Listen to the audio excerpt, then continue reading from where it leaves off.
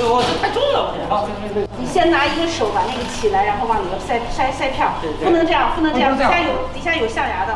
应该是本次考古发掘第一次提取如此重要的一件文物，所以我只能跪在那个那个那个平台上面，要保持身体的这个稳定嘛。所以说这个幸亏这个心理素质比较过硬，手没有抖哈。我手更更抖了，但是我拼命的控制，而且小软接出来吧，我在坑口嘛，还有差不多三米吧，我还得小心翼翼的走过去。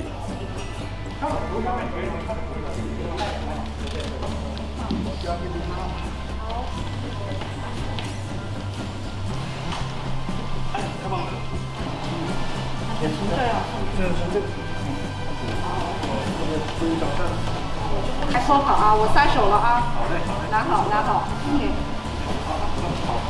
那个精气就是传递到我手里边的时候，说实话，那个心情还是很激动的。不到一百米吧，大概可能走了将近一分钟，非常非常谨慎的，就是做这个工作。这边那个老蒋先来取一些样品，先先把象牙拿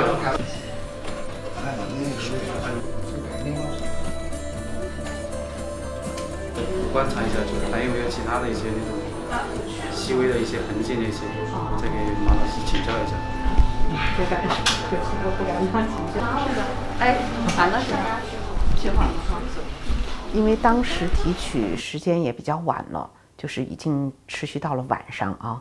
然后我们就初步的看一看它有没有可能对下面下一层造成影响或造成破坏。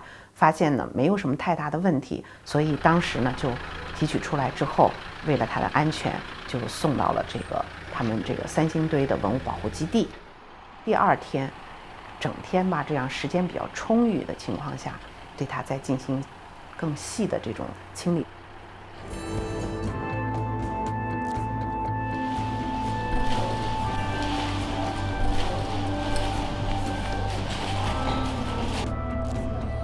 我和他们三星堆的四川省考古院的做保护工作的几位这个小同事吧，逐渐的把这些泥土去掉。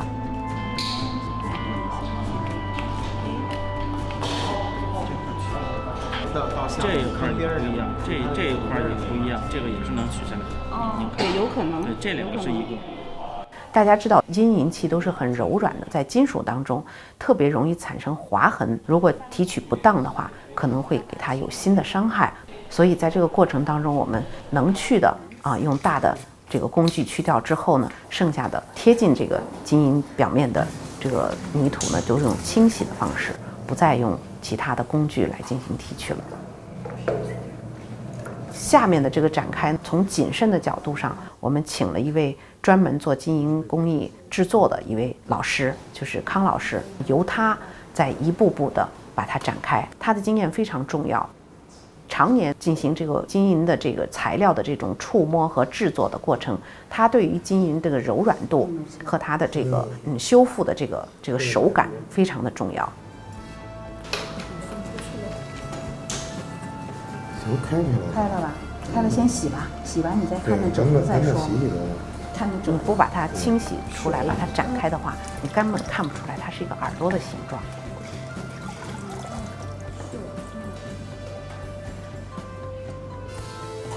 正面展一展，反面展一展，过程当中还要用一些工具，逐渐的把它的弧度找出来，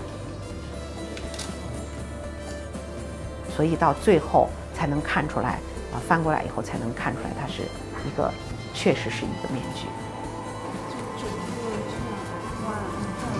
这么的对。展出之后，残长是二十八公分，那么这个宽度呢，大约是二十一左右吧。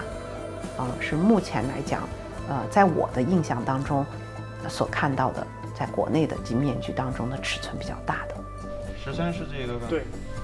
发掘还在进行当中，在它的附近，甚至于在它的下层，有很多的晶片。那么我们最期待的当然是它残损的一部分，但是目前来讲还没有找到我们想象当中的那片东西，只有一少部分的晶片啊，跟他可以能有对上的这个迹象。遗憾的呢，就是它有一些边缘是有烧融的这种状态啊，所以我们还不敢肯定一定是来自于这个金面具的。我们的每一步工作应该说都是谨慎的吧，不能够鲁莽行事嘛。